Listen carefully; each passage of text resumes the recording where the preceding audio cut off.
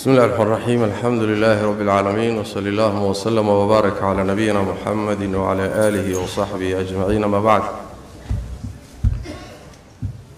أيها الإخوة والأخوات السلام عليكم ورحمة الله وبركاته.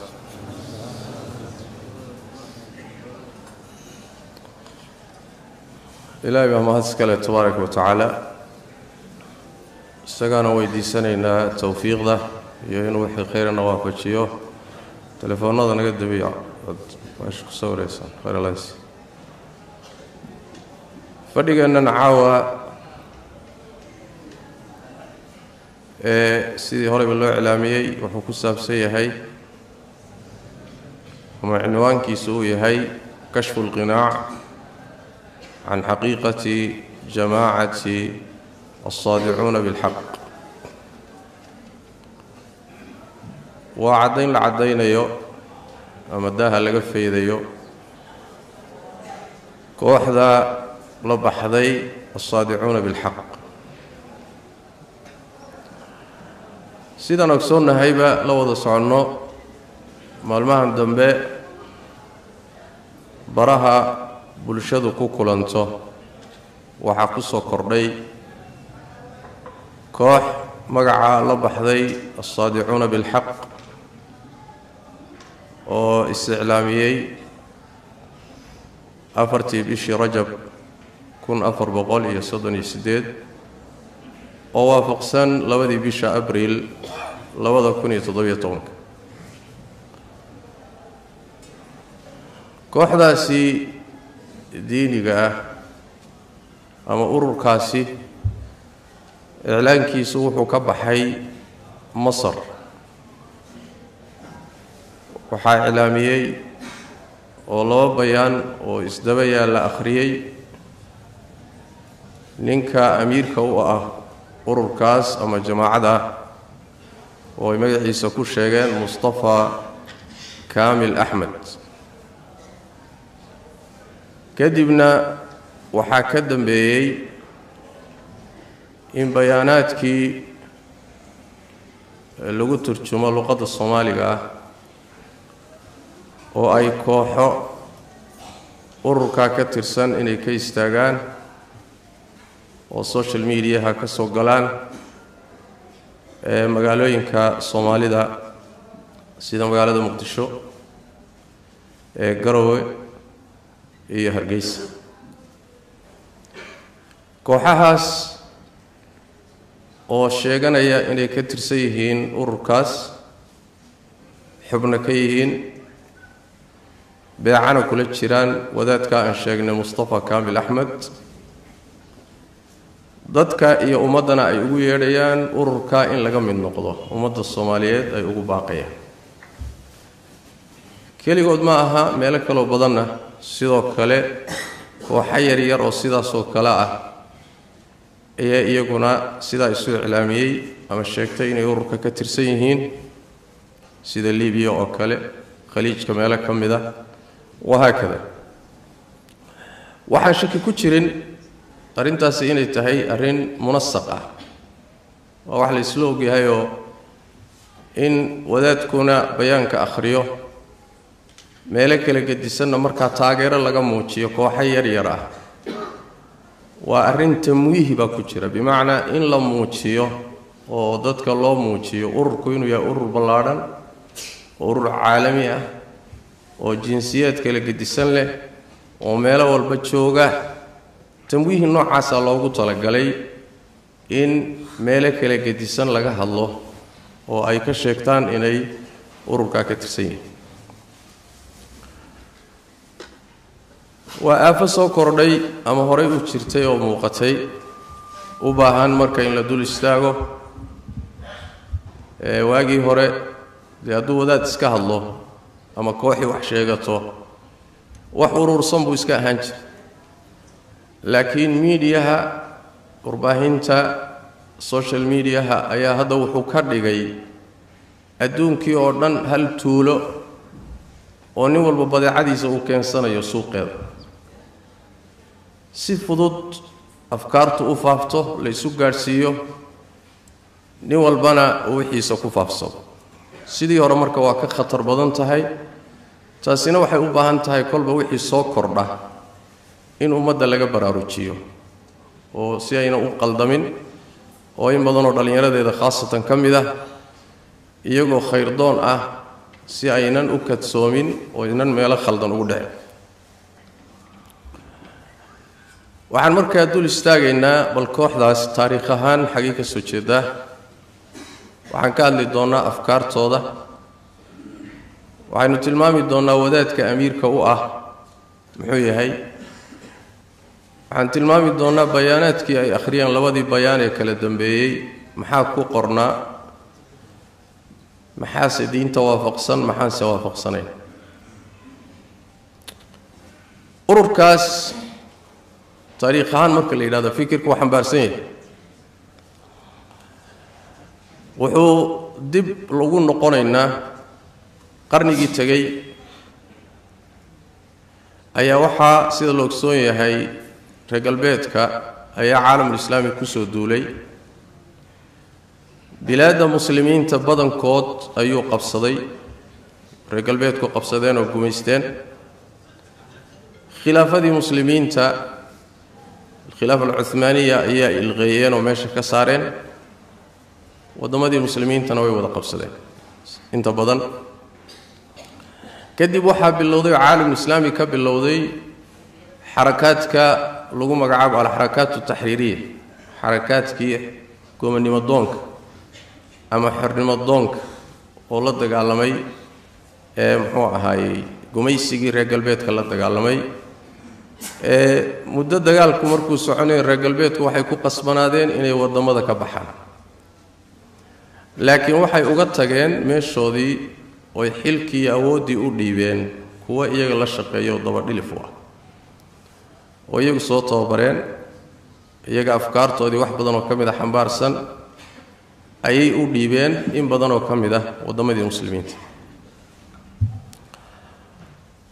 Kadib caalamulislaami waxaa bilaabatay markii xaaladdu ay xumaatay waxaa bilowday xarakaad islaami ah dhaqdhaqaaqyo islaami ah ama jamaacaad islaami ah oo bilaabay inay ka hortagaan ama waajahaan mushkilada haysato muslimiinta oo ay diintoodii dib ugu soo celiyaan islaaxiyaan iyagoo dareemay dhibaatadu meeshay ka timid asalkeedu inuu yahay diintoo laga fogaada saas daraaddeed ummadda in diinta lagu soo celiyo sidaana cisigeedii iyo karaamadeedii u soo noqoto xornimadeedii ula soo noqoto muxuu ahaayey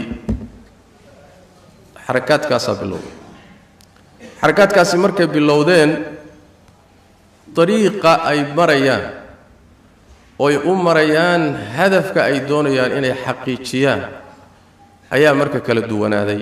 Qoloba meel bay ka tustay qoloba meel bay ka tustay kama hadlaya hadda duruqdaa la maray iyo wasaa-ishaa la maray محاق خلدنا محاصح صنا كي صحا كي خلدنا هذا كما الله. لكن مسألة تاريخي هانا نسردنا يوم.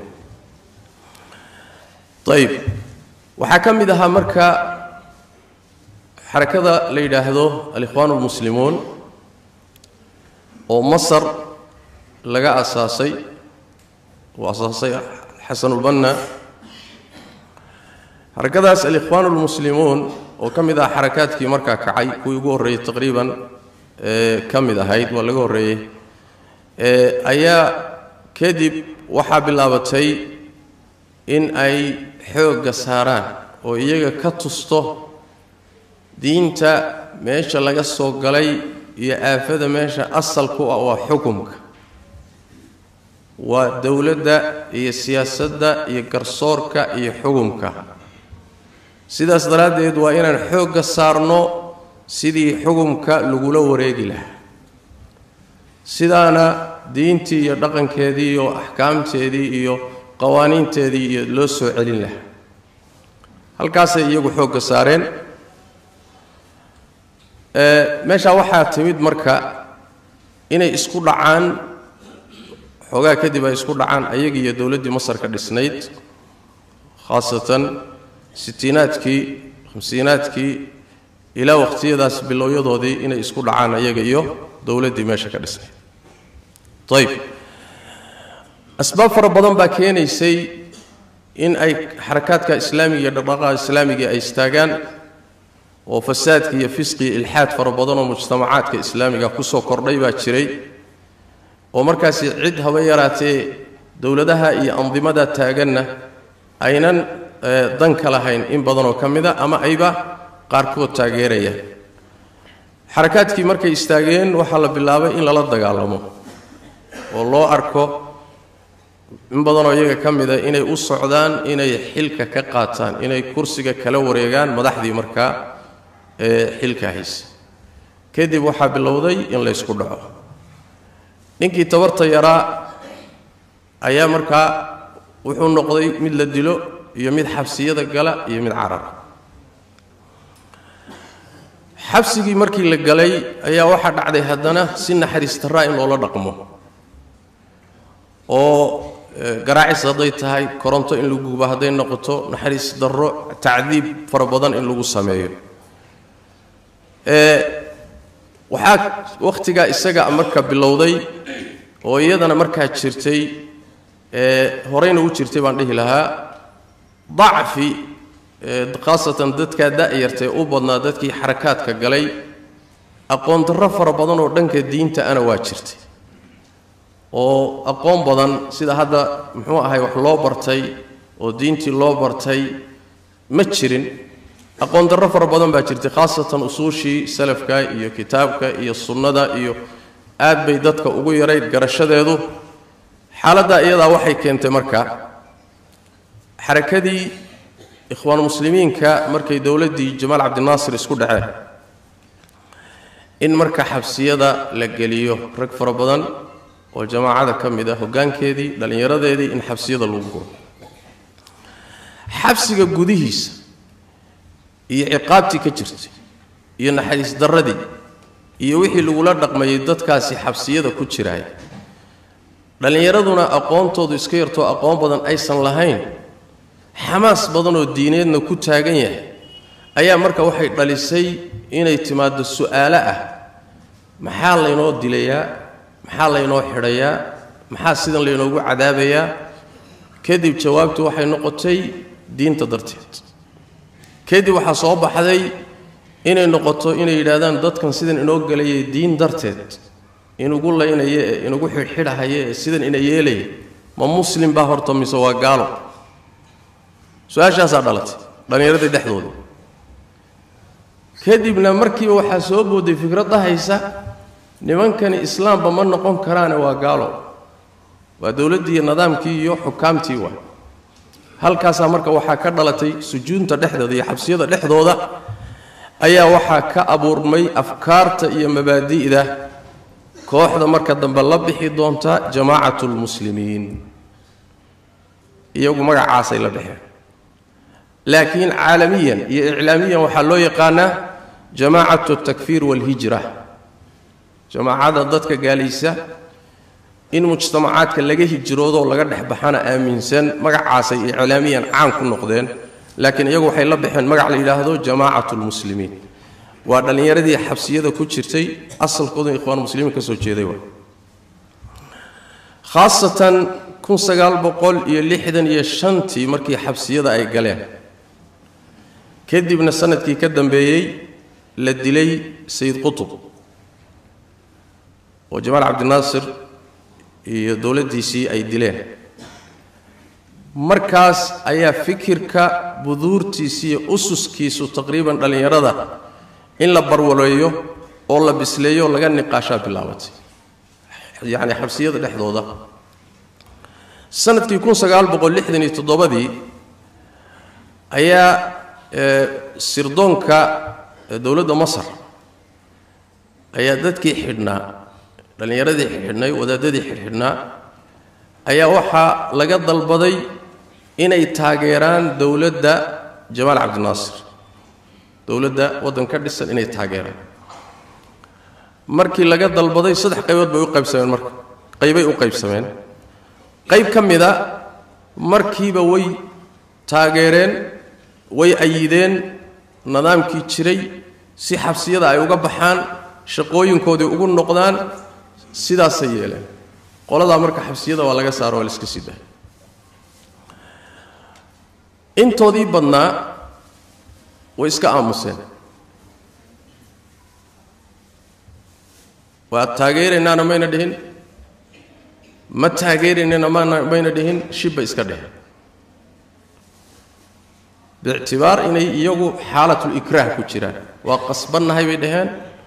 Sidaas daraaddeed way iska aamuseen. Qolo saddexaad oo dhallinyaro ahayd ayaa markaa soo jeedintii ahayd dowladda taageera ayaa ka hor yimid oo caariday. Waxay iclaamiyeen in madaxweynuhu gaal yahay. Iyagaa isku qanciyey nidaamkan waddanka ka dhisanna inuu gaal yahay kuwii xabsiyada kula jiray walaalahood ahaa ee dowladda taageeray xabsiyadana saa kaga baxayna iyagana waxay dhaheen waa gaalo. Way ku dareen iyagana. Islaamka way ka baxeen bay. Intaa keliya mayna ku gaabsanina waxay yidhaahdeen dowladda gaalada ninkii aan gaalaysiinina isaguna waa gaal. Dowladdaas sidaa dadka u gelaysa ninkii gaalnimadeeda ka shakiya ama gaalo ma ah yidhahdana isagaaba gaal isagana ku dara. Mujtamacii kalaa soo hadhay mujtamacuna waa gaal bay dheheen sababt maxay tahay? Lianna xukaamtan gaalada iyo nidaamkan gaalada gaalka ah ayay shucuubtu raalli ku yihiin oy taageersan yihiin. Sidaas daraaddeed shacabkuna waa gaalo. Soonkan iyo salaadan iyo waxay tukanayaanna wax anfacaya maa wax jira maaha fikirkaasi xaggee buu ka dhashay wuxuu ka dhashay xabsiyada dhexdoodu ka dhashay dhallinyarada dhexdoodii buu ka abuurmay fikirkaasi waa fikirka marka la baxay ama loo loo bartay markii dambe altakfiir walhijra la baxay waay.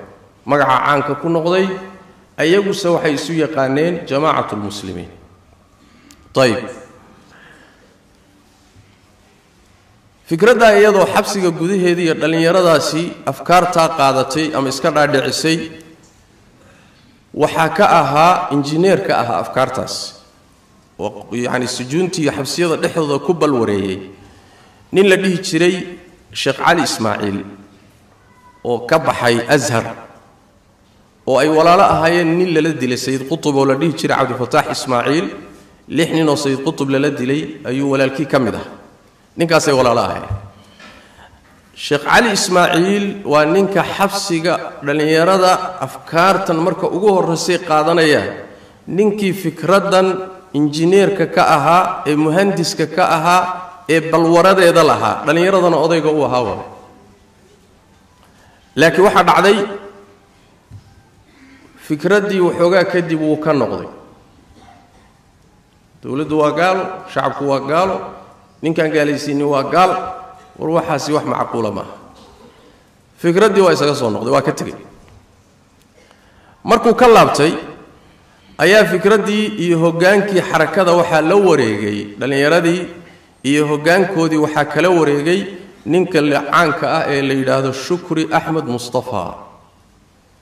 Ninkaa way ninka marka xarakada ku caanbaxay afkaartana marka dambe sii bisleeyey faafinteedana qaybli wax ka qaatay. Isagaa ururkii la wareegay abu sacad baa la dhihi jiray dhallinyaradii ikhwaanu muslimiinka ka tirsanaa buu ahaa.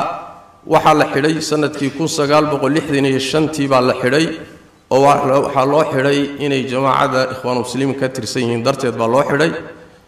Waxaa mulfit ah oo xusid mudan.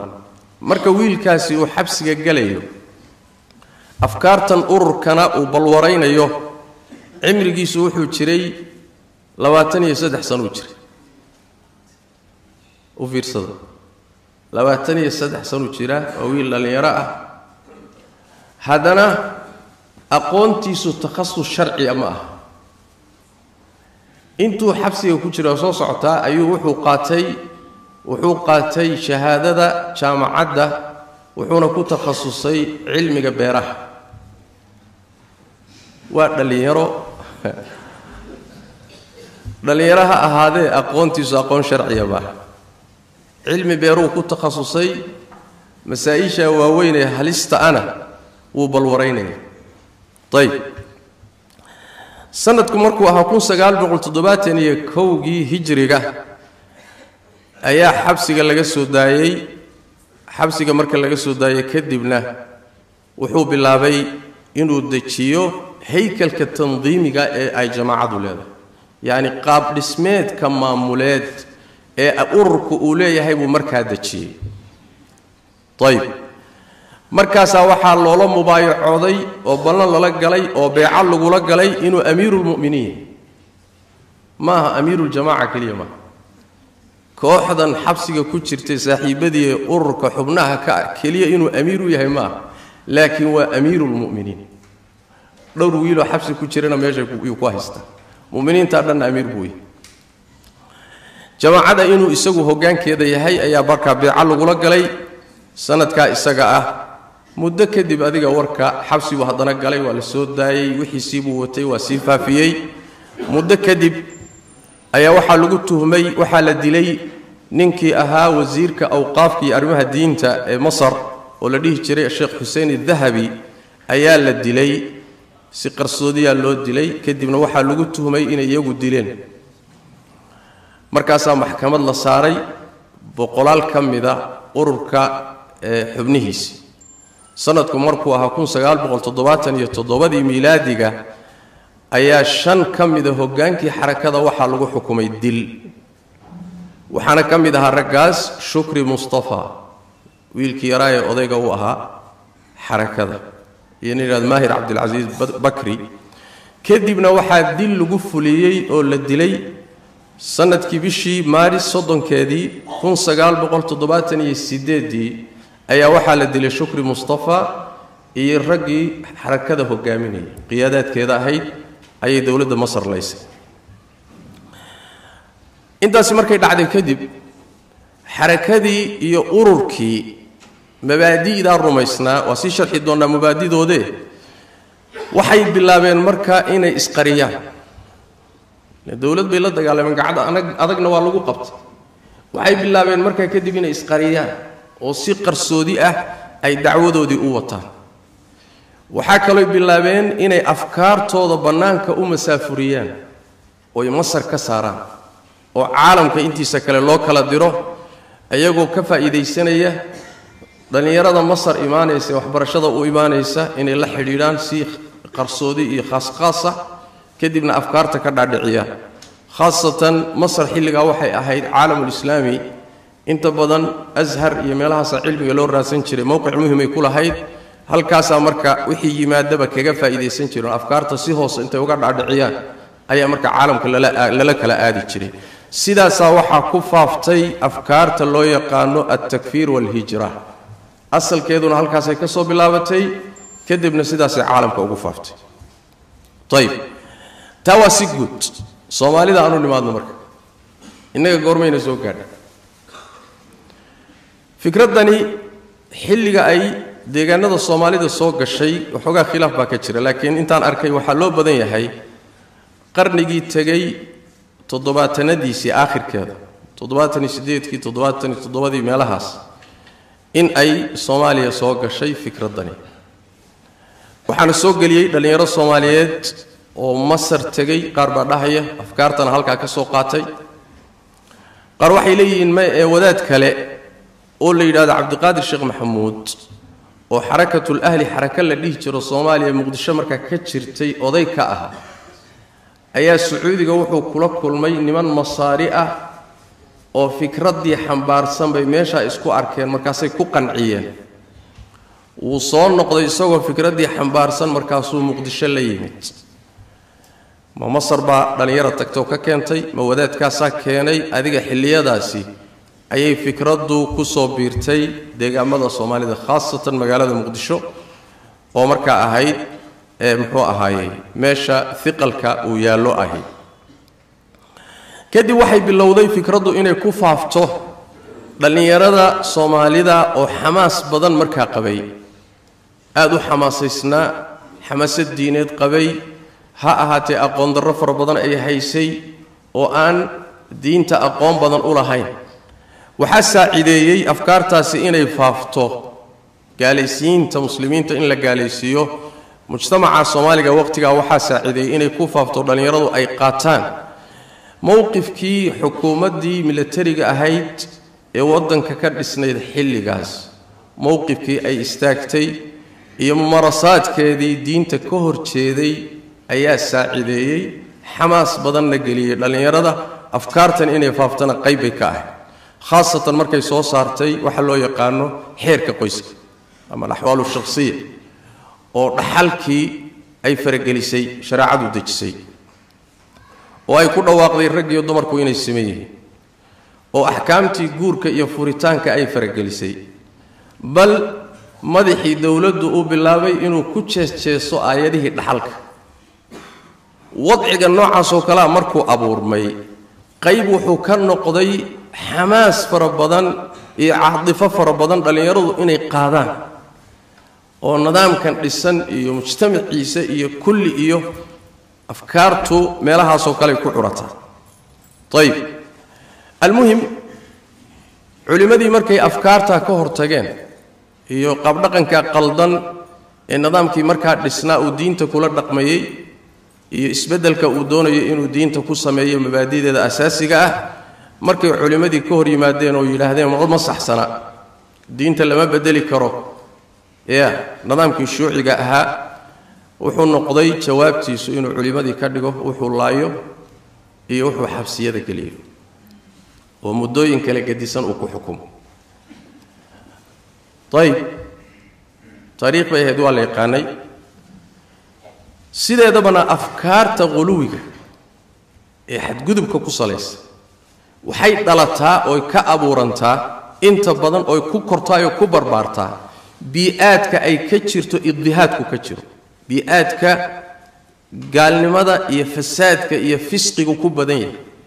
Mas'alada labaadna marka labaadna ee muxuu ahaayey dadkii war ma saxsana yidhi ee xabsi iyo dil iyo idihaad iyo eryid iyo dabagal iyo xaaladda noocaasoo kalea markay abuuranto waxaa abuuranta xaalad la yidhaha xaalad loo yaqaano ficli la yidhaah oo muxuu ahaaye iska celi ah radu ficligaasi waxay keenaysaa marka inay iyaduna dhanka kale istaagto.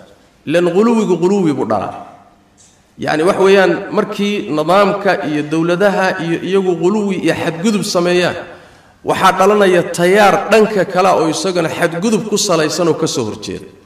Xalgudubkii marka wuxuu abuurmay iyo andimadan quluwiga xarakaadkan quluwiga ku salaysan arrimahaasaa saacideeyey in ay dhallinyaradii soomaalida dhexeeda ku faafaan.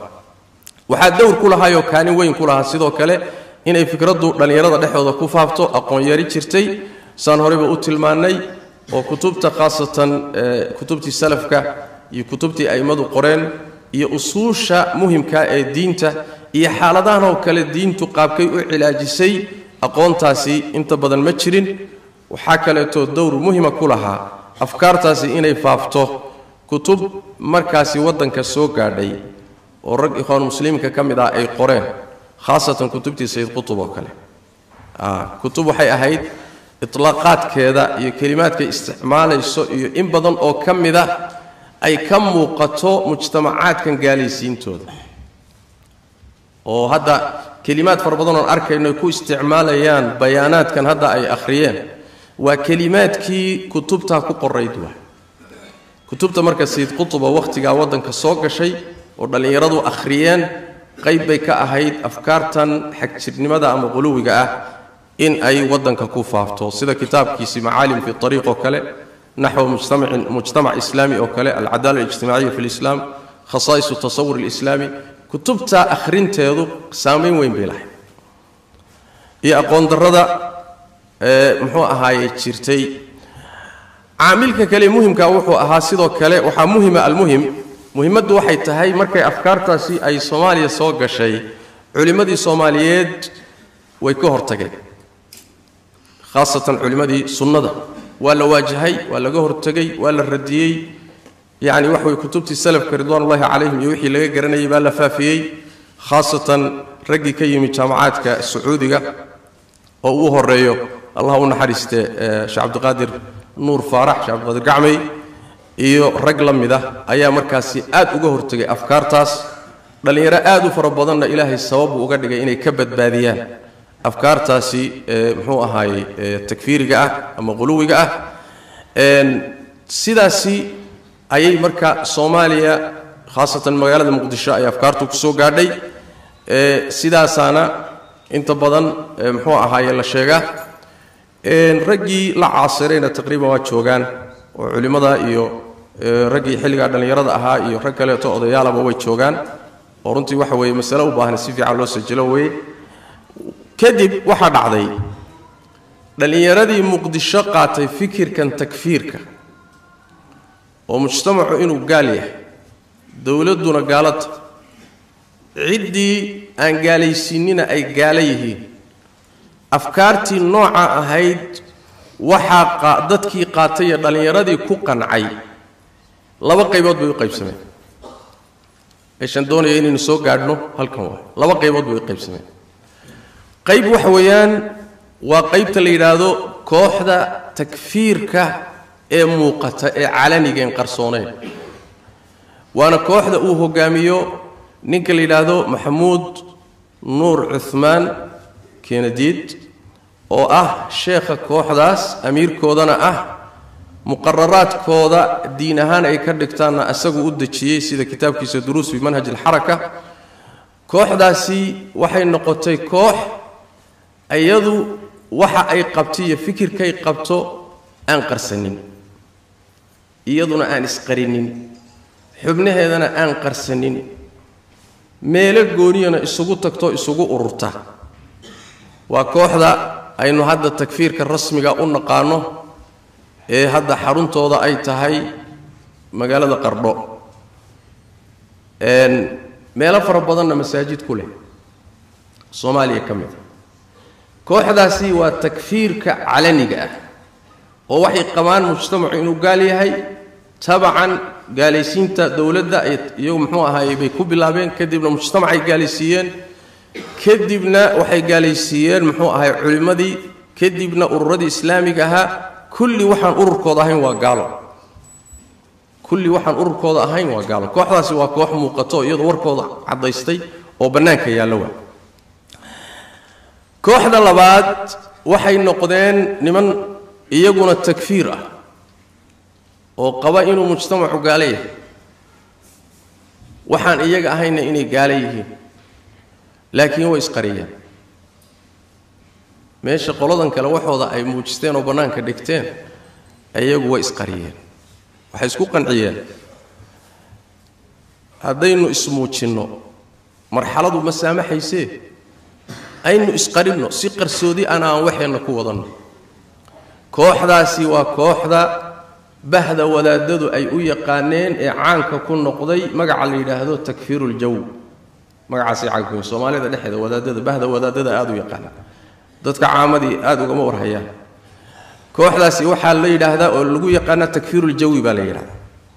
Waxaa hogaamiye u ahaa oo oday u ahaa wadaadkan marka dhow sheegaynay cabdilqaadir sheekh maxamuud dhallinyaro fara badan ama dhallinyaro koox ah ayaa afkaartiisii ku dhegtay oo takfiir walhijradii masar ee hadda ka soo sheekaynay manhajkoodii qaatay isqarinta inay isqariyaan oo muxuu ahaaye ay dadka iska qariyaan isqarintaasi macnaheedu waxa weeye mujtamacani maadaama uu gaalo yahay dowladdiisuna gaalo tahay mujtamacuna gaalo yahay wadaadadiisuna gaalo yihiin masaajidda ay ku tukanayaanna ay kanaa'isoo kale yihiin masaajidba ayna ahayn masjid diraar iyo wax la mida ay yihiin masaajidba ayna ahayn mujtamacii nooca ahaa haddaynu waxeenna muujisanno ma badbaadayno kumana dhex jiri karno waa gaalo see la yeela waa halkaasaa marka waxay noqdeen ayagiina inay kala baxaan.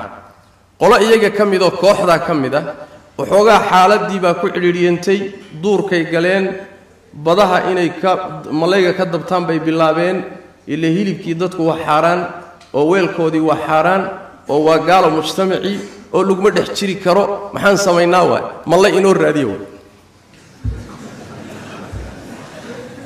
Markaasaa waxay galeen inay xeebaha badda galaan oo meelaha malayga ka dabtaan oo meelaha malayga ku shiishaan oo halkaasi calaf ka dhigtaan oo mujtamac ka dhex cararaan qoladii nooca ahayd qaar iyaga ka mida noloshii adkayd ee cidhiidhiga ahayd way xamili waayeen.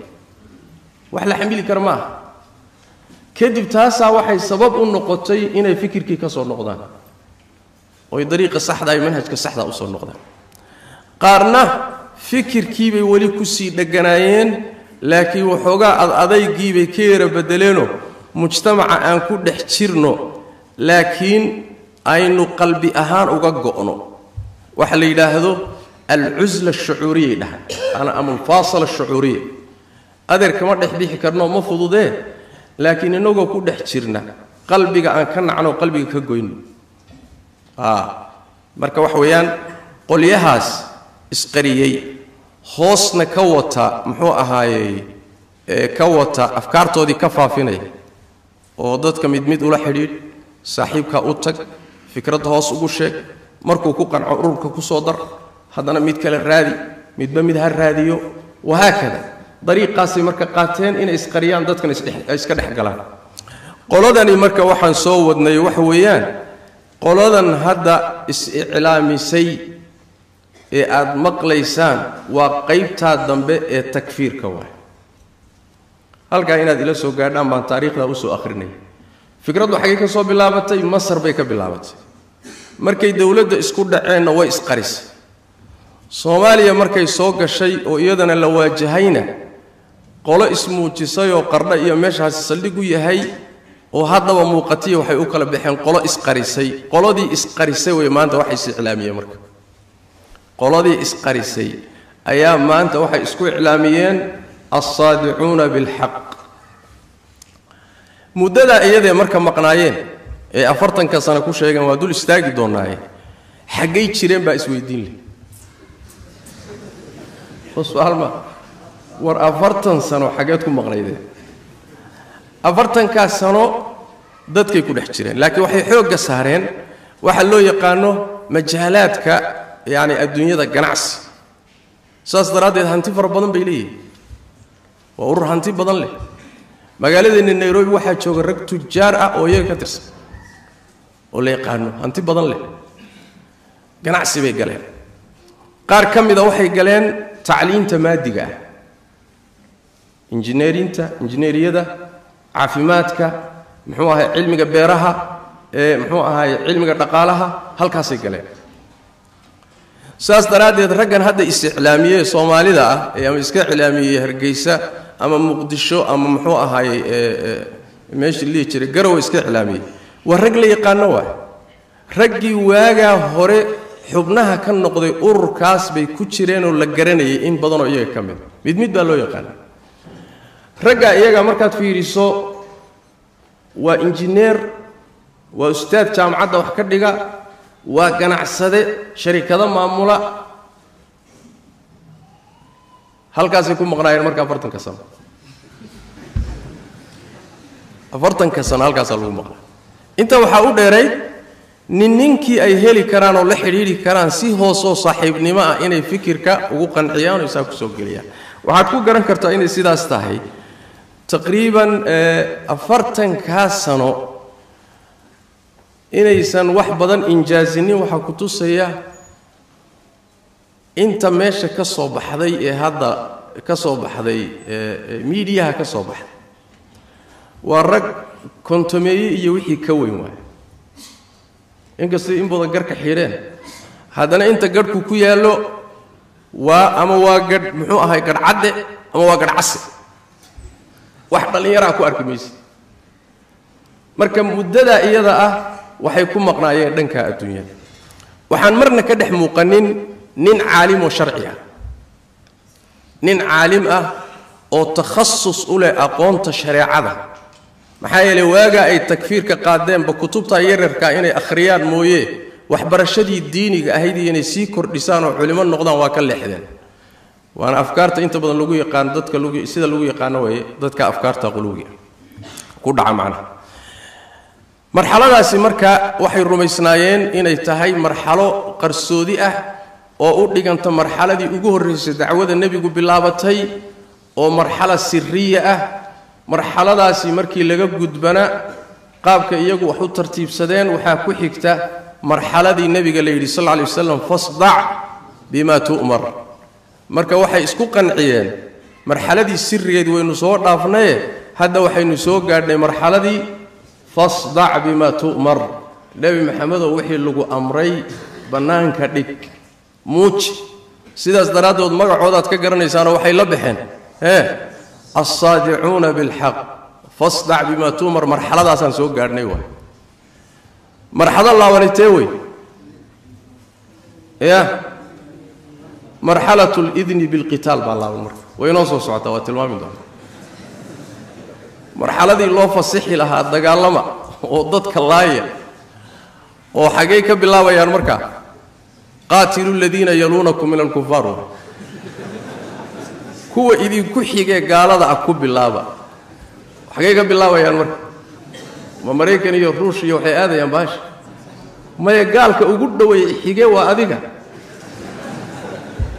Adig kaa bila marxaladaa marka waa la sugaya laakiin marxalada hadda ay soo gaadheen falsafadoodii edebiyaadkooda marka la fiiriyo waa marxalada fasdac bima tu'mar. Qaabkaasay marka wax u tartiibsadeen. Su'aal waxaa la isweydiin karayaa labada kooxood oo midna ismuujisay oo maxamuud nuur cuhmaan uu hogaamiyo iyo kooxdan isqarisay maxaa u dhexeeya? Manhajka marka la yidhaahdo xaqiiqa ahaan wax farqi weyn uma dhexeeyo laakiin keliya waxay isku faariqa muhimkaa wuxuu yahay maraaxisha la marayo iyo qaabka loola mucaamaloonayo qoladaasi maxamuud nuur ee waxay isku qanciyeen marxalada aan marnaba marxaladii kufu aydiyakum baan ku jirnaa oo marxaladii dagaalka weli lenooma idmin ayaga laftooda marxaladaasi maraya. Laakiin waxay isku qanciyeen diinta wixii aynu hadda ku dhaqmi karna aan ku dhaqanno. Dumarka aan xijaabno masaajid aynu dhisanno aynu gooni isu ururinno mujtamac muslim ah oo mu'min ah aynu gooni u samaysanno waxeennan ayayna qarsanin. Qoladaasi sidaas wey qoladana waa ka duwanyaen marka isqarintaa iyo diintii oo dhaqankeedii iyo muuqaalkii wadaadnimo oo laga cararo.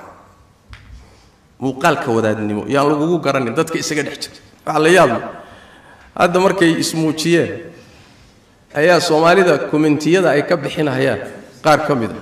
Markaad akhrid wuxuu leeyahay mid baa wuxuu leeyahay waa la yaabe hebelkani aniga macallin buu ii ahaa. Intaasoo sanu macallin ii ahaa waxaana kamaba dareeminba. Qolo shirkada waxay leedahay war midkan aan wax u dhiibannay waan faslinnay. Lamaba ogeyn. Qolo jamciyad bay u dhiibteen mid hadduu is-sheegayoo macnaha la fasliyey. Marka yacni waxa weeyaan isqarintaa inay isqariyaan dadka dhexdiisana ka ugaadhsadaan ayaa iyaga mabda u ah. Diinta inteedii kalena markay uun dowlad dhalato ha la raadiyo laakiin marka hore koox yaroo istarbiyaysa waa inuu asaasku noqdo. Sidaasi markii laga tago furuuq fara badan oo u dhaxaysooo mabda'i a ma jirto. Maxaa yeele waxaa ka dhexeeya mabaadida waaweyn. Aan tilmaami doono inta badan way ka dhexaysaa saan soo tilmaannay maraaxishaasay marayaan marxala makiya oo siriya ah. Marxalada xigto fasdac bima tuumara marxalatu sadci oo hadda ay rumaysayn inay marayaan.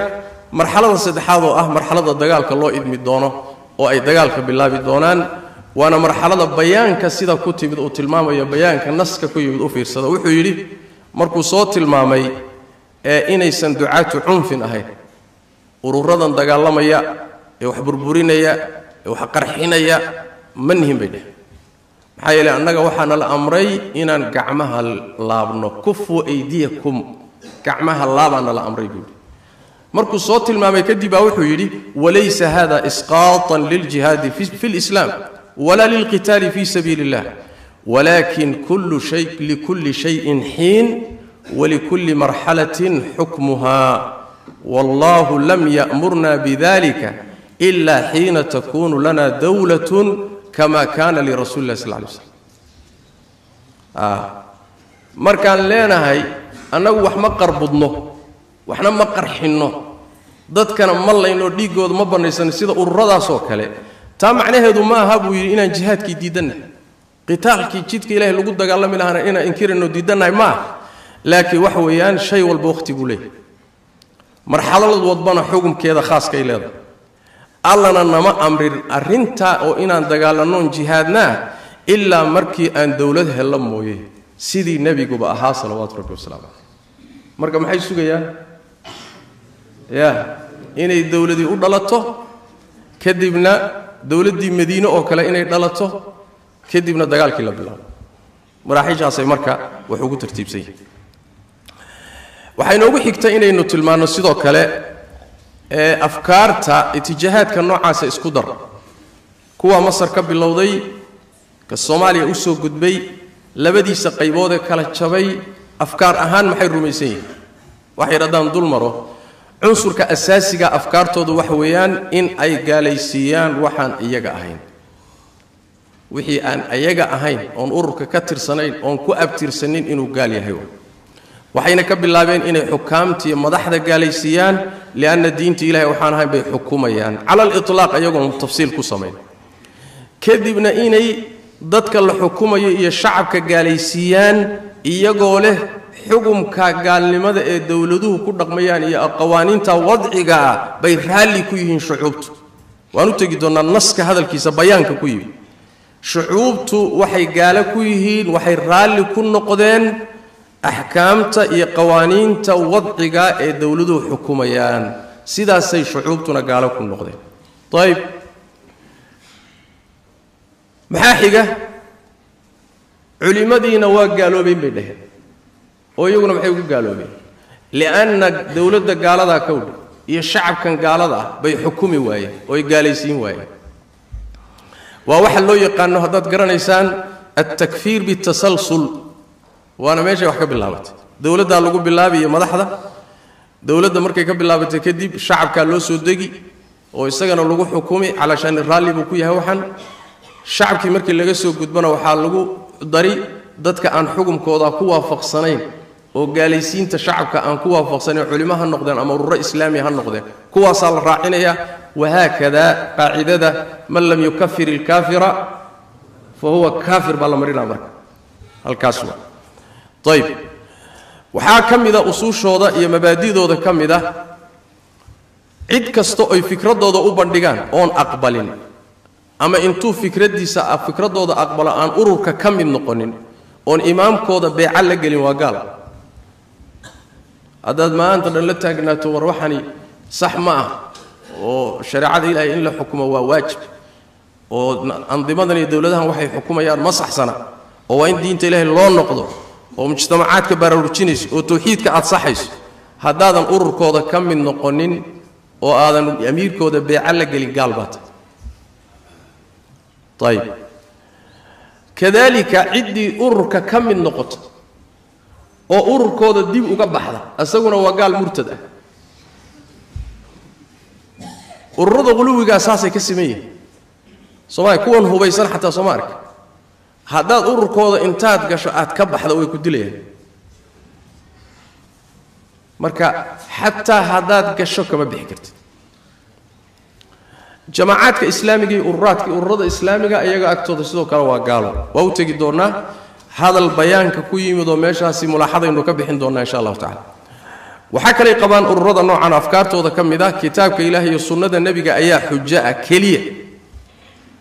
Ayib sunnada lafteeda axaadiista nebiga sal lla alay wasalam inta iyaga hawadooda iyo fikirkooda ay isleeyihiin way waafaqsan tahay bay ka qaadanayaan. Inta fikirkooda way ka soo horjeeddaa ay isleeyihiinoo axaadiista ka midana macnaheeday leexinayaan. Hadday daciifin karaanna waa daciifinaya axaadiista inta hawadooda waafaqday ka qaadanaya nusuustii qur'aanka iyo sunnadana waa xasab iyagu tafsiirkaysay u fahmaan waa. Sidaas daraaddeed cid kasta oo a'immada iyo culimmada aqwaashooda ama ijmaaca qaata saxaabada ama qiyaaska deliishada ama maslaxa almursala ama istixsaanka ama qowlu saxaabi adiladii mukhtalafka ahayd ayaga agtooda muctabarka maaha bal qaar ka mida waxay qabaan inuu gaali inaad inuu yani gaalnimo ay keenayso waxaa ka mid a afkaartooda aqwaasha ahlulcilmiga ee muxaqiqiinta ah iyo turaadkii iyo dhaxalkii ay culimmadu ka tageen ilaa saxaabada ilaa maanta oo tafsiir leh oo sharax axaadiid leh oo usuul leh oo mustalax leh oo fiqhi leh. Wixii culimmadeennu ka tageen agtooda wax qiimo ah kama laha. Waxa qiimaha leh waxa weeyaan naskan bay la tacaamulayaan amiirkoodu siduu u fasiro unbayna ula mucaamaloonayaan. Waa shay qariib ah. Amiirkooda baa tafsiirka iskale mana khilaafi karaan. Hadda qolyahan u xaraysan ee maxamed cumaan u xaraysan ee qardha iyo meelahan ugu xaraysan kutubta ay akhriyaan waa isagu kuwuu qoray. Muqararaadkiisii isagu uu qoray ayaa kutub u ah mana khilaafi karaan kuwanna sidoo kale waa amiirkoodaa wixii ka yimaada iyo kutubtu u tilmaamay laakiin wixii ka baxsan kutubtii a'immada iyo khidmadoodii iyo caqiilada ahayd wax kasta lahayd agtooda wax ka soo qaad male sidaas daraaddeed baad waxaad dareemi kartaan waa u tegi doonnaaye bayaanka aad aragteen oo labada qaybood ah hal qowl ah oo imaam muslima uu leeyahay kumayna soo qaadan. Hal qowl ah isaga weliba mukarar ah. Hadal fara badanoo iska iska soo noqnoqonahayo fara badan baa isaga jira haddana maca daalika hal hadal ah oo nin caalima leeyahay oy soo guuriyeen kuma jiro labada bayaanba. Leanna wax weeyaan a'immada iyo culimmada aqwaashooda iyo tafsiirkooda iyo sharaxoodu agtooda wasan weyn kama laha. Yani waxa waa mabdaa mabaadidooda ka mid tahay. Mabdaa ugu mabaadidooda ugu muhiimsan waxaa ka mid ah waa cunsurka labaada in laga hijroodo mujtamacaadka. Maadaama ay gaalo yihiin mujtamacuu jaahili yahay in laga hijroodo. Ayib cusladaasi ama cusla makaaniya ha noqoto meel laga aado oo kale ha la helo ama cusla shucuuriya ha noqoto muxuu ahay qalbiga in aad ka go'do oo aad kaga dhex baxdo. Bii-a noocaasoo kale ah haddii ay heli karaanna way samaysanayaan sida hadda qolyaha qaarkood oo kale jirto. Waxaa ka mid ah masaladii tadarujka oo aynu soo marnay. Intaasi wax weeyaan marka mabaadi'da iyo afkaarta ururadani ay rumaysan yihiin asalkeeduna meesha ka soo bilowday ka soo bilaabatay aan soo sharaxnay jamaacadan marka alsaadicuuna bilxaqi la baxday taariikh ahaan dabageliskoodu halkaasuu galaa halkaasayna ka soo jeedaan iyaga markaynu u nimaadno bayaanaadkoodan iyo amiirkoodan aan ka bilowno amiirkooda. Mustafa kaamil maxamed xasan oo bayaanka labada bayaanba akhriyay wadaadka. Walaadkaasi siiradiisa daatiga iyo taariikh nololeedkiisa waxay leeyihiin wuxuu ku dhashay magaalada qaahira. Kun sagaal boqol iyo soddon iyo lixdii buu dhashay. Ayib oo miilaadiga ah. Wuxuu macallin ka noqday jaamacatu umulqura oo maka ku taala. Shan iyo labaatan sano ayuu macallin ka ah baa la leeyahay. Kuliyadda la yidhahdo kuliyatu dacwa kuliyatu dacwa usuul iddiin taariikhdiisa markii la sii dabagalo wadaadka sheekh mustafa wuxuu ku darmaday jamaacada alikhwaan almuslimiin ee masar. Ayuu wuxuu ku darmaday oo ka mid noqdo xubin ka mida noqday sannadkii kun sagaal boqol konton iyo labadii miilaadiga xubin rasmi ah oo ka mida ikhwaan muslimiin ku noqday cimrigiisuna markaa wuxuu jiray lix iyo toban sano. Lix iyo toban jir buu ahaa markaa iyada. Sanadkii kun sagaal boqol iyo konton iyo shantii ayaa waxaa lagu xukumay toban sano xadhiga. Qaahira. Ayib xabsiga ayuu wuxuu kula kulmay sayd qutub kun sagaal boqol lixdan iyo labadii ayuu kula xabsiga kula kulmay. Sijni iyo xabsi la yidhahdo masracatu tura la yidhaahdo halkaasuu kula kulmay wax kaga qaatay arday u noqday. Walilmacluumiya sayid qutub ma ahayn nin caalim sharci ah.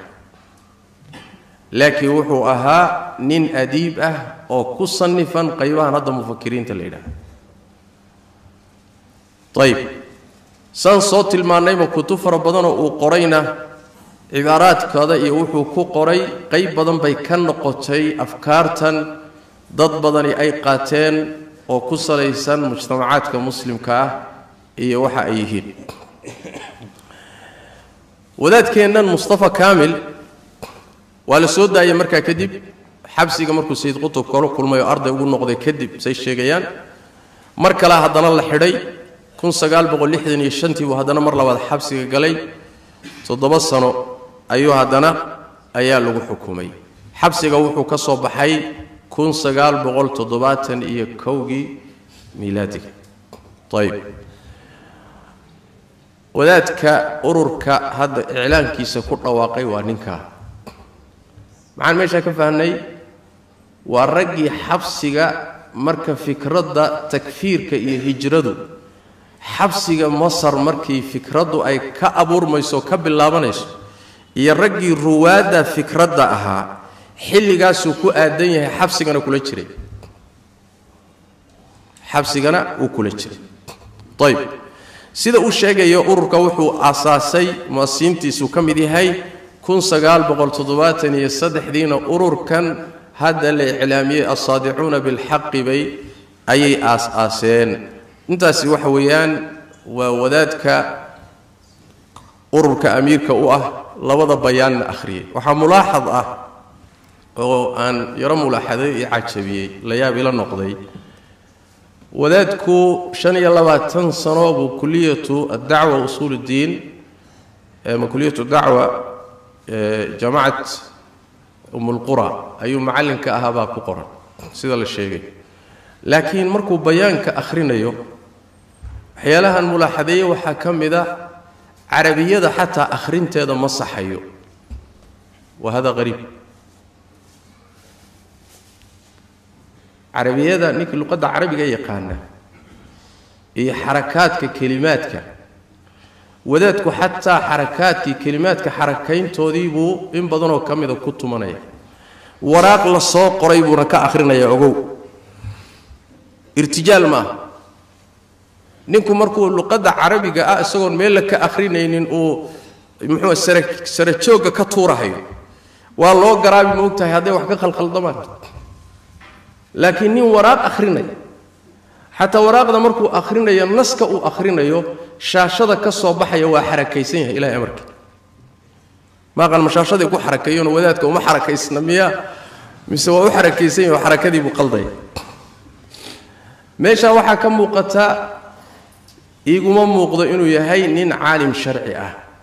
Waxyaalaha taageerayana waxaa ka mid ah siiradiisa markay ka hadlayeen daatigaa cidduu cilmi ka qaatay iyo cidduu sheekh u noqotay iyo meeshuu ka soo jeedo midna lama sheegin. Waxaa laga bilaabay un ikhwaan muslimiin buu xubinka ahaye xabsi buu galay iyo halkaasaa laga bilaabay. Waxay ka turjumaysaa ururadan aafaadka haystaa waxa weeyaan waxa majaraha u qabanaya ee dadka luminaya ee haadaanta ka tuuraya waa dad aan aqoon sharci a lahayn culimana aan ku sifaysnayn takfiirka iyo hijrada bilowgeediina wiilkii yaraaye mustafa shukri baa bilaabay oo kuliyatu muxuu ahay ka soo baxay?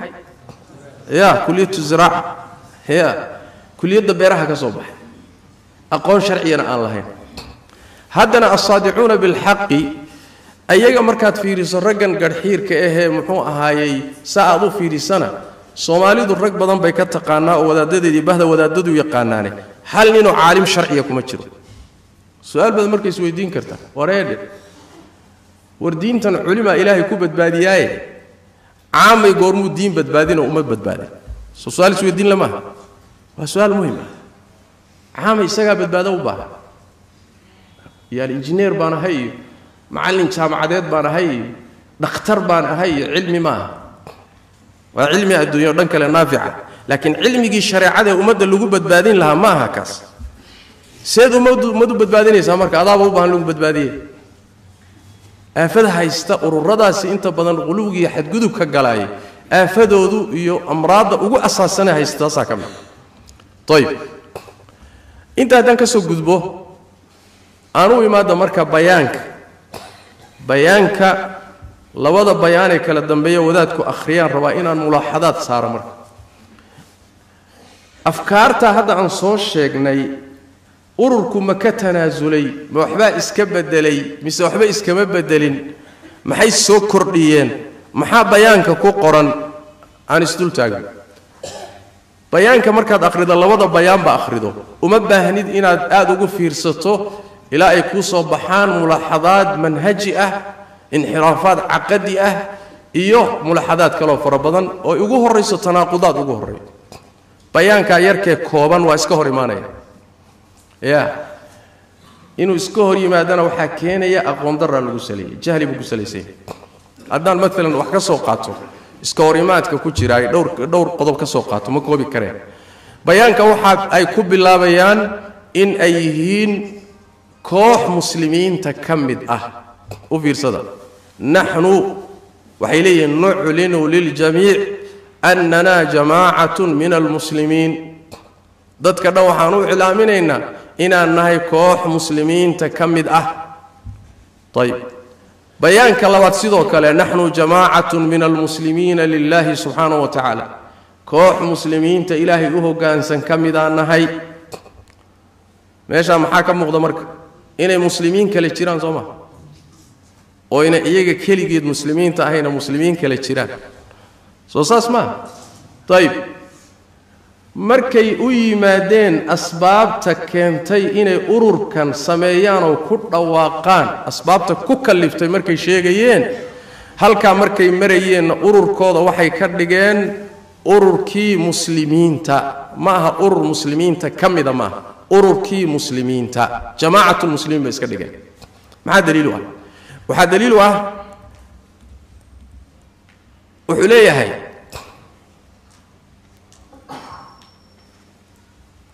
sababtay ururka u aasaaseen markuu sheegayay.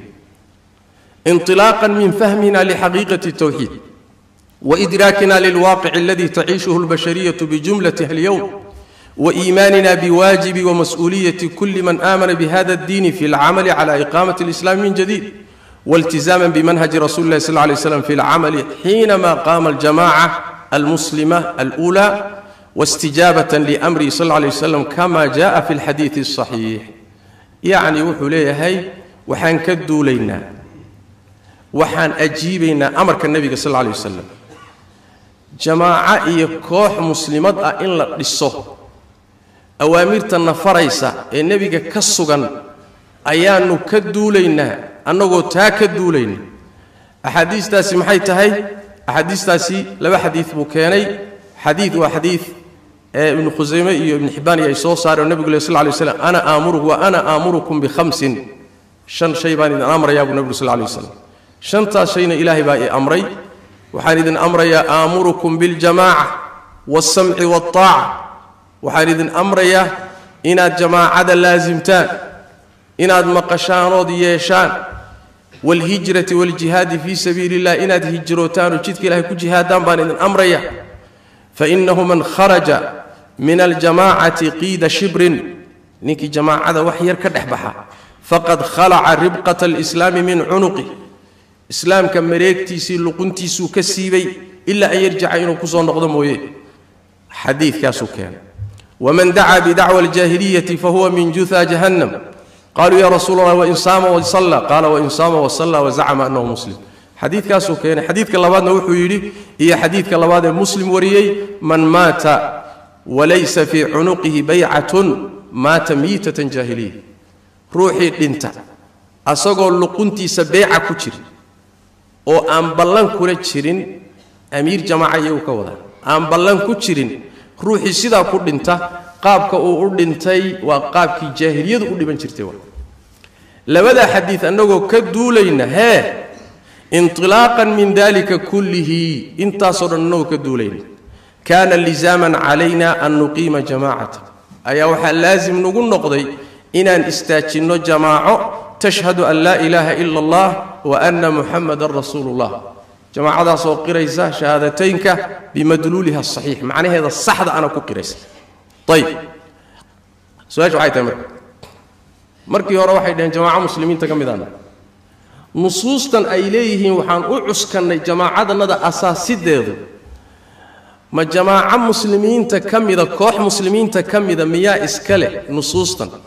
Mise waxaa iskale jamaacada نظام كا المسلمين تم التشاء الدولة دا أبا إسكالي ها أو دا اللي يرد ضلوة العلم مركو النبي يقول يا هاي آمركم بالجماعة أي جماعة جماعة المسلمين أو هو قال سياسة دولة ديوان طيب markuu nebigu leh sal lay slam waman maata walaysa fii cunuqihi bayca baycatu man ya baycatu amiiri lmuslimiin madaxa muslimiinta beecadiisa laga hadlaya beecad amiir urur maaha koox amiirkeed beecadiisa maaha bidaliil adiga haddaad ururkooda beecadiisa aadan gelin oo saa ku dhimato ma miita jaahiliyaad dhimani ma jaahilimaad ku dhiman maya marka jamaacatulmuslimiin baan ka midnahay haddana nusuustii jamaacada muslimiintaee keligeedahee beecada iska lehee madaxu hogaaminayee dowladda ah axaadiisteedii baan ku salaynay oon ka amar qaadanay oon ururkanaga ku dhisnay. Adeer kaafiya kala dheeri waa isa saar. Macallinow alif wax buu leeyahy iyo wax male labadaba adaa lagaa maqan. Soo maaragt waa tanaaqud. Mar waxay isu sawireen inay jamaacatulmuslimiin yihiin marna waxay sheeganayaan inay yihiin jamaaca min almuslimiin. Ayib waxaa xigta intaynaan halkaa ka bixin. Axaadiistaas meesha ay ku fasireen iyo meeshay saareen waa qalad. Waana taxriif axaadiista nebiga lagu sameeyey sal alla lay wasalam nebiguna salawaatu rabbi wasalaamu caleyh koox muslimiinta ka mid ah oo urur ah oo uu nin amiir u yahay oo hogaaminayo axaadiista nebigu sal lay slam ulama jeedin. Inuusan ula jeedinna waxaa ku tusaysa axaadiistu iyadaa isfasiraysee? Xadiidka fii saxiixi muslim buu ku yimid isla xadiidka ay deliishadeen. Isla xadiidka ay deliishadeen saxiix muslim buu ku yaallaa. Laakiin u fiirsada siduu ku yimid. Naafic mowla ibni cumar ayaa ibni cumar ka warinaya wuxuu leeyahay cabdullaahi ibni cumar ayaa u yimid cabdullaahi ibni muiic cabdullaahi ibni muiicna xilligaa u imaanayana xiina kaana min amri alxarati maa kaan madiine iyo dagaalkeedii xara markuu dhacay oo dagaal wuxuu ahaa fitna oo dhib badan oo magaalada ka dhacay. Xilligaas u yimi zamana yaziid ibnu mucaawiya yaziid ibnu mucaawiya markuu xilka hayay oo aabbihii mucaawiya intuu uga tegay xilka radia allahu tacala canh uu xilka uga tegay baa lagu kacay. Dadkii ku kacay reer madiina ka mid ah. Ciidamuu soo kaxaysto waa ku soo duula magaalada madiina dagaal culus baa ka dhacay oo lagu hoobtay taasaa waxa la yidhahda waqcatulxara loo yaqaana. Xilliga isaga ah ayaa cabdullaahi bni cumar wuxuu u yimid cabdullaahi bni muiic ayb markaasaa wuxuu yidhi iطraxuu liabi cabdiraxmaan wisaada. Cabdullahi bni muiic baa dhahay.